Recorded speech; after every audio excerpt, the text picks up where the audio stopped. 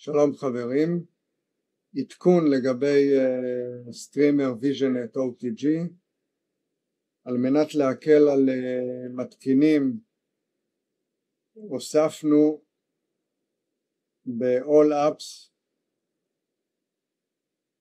ב App Store